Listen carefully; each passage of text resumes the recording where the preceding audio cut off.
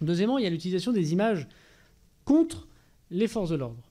Et je remercie les parlementaires de mettre euh, en œuvre la, promesse que j'ai faite aux forces de sécurité, de ne pas être jetés en pâture sur les réseaux sociaux. Rappelez-vous le drame de Magnanville.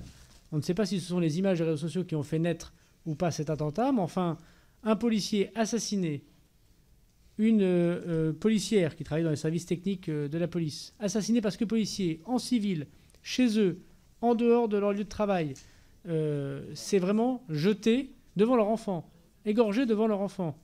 Euh, c'est vraiment jeter en pâture des fonctionnaires qui font un travail extrêmement difficile.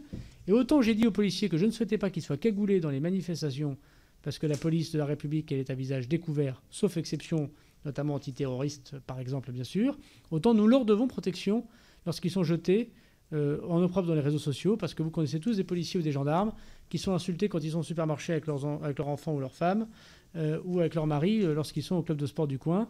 Et nous leur devons protection. Et donc je vous remercie de mettre en place ce, ce floutage.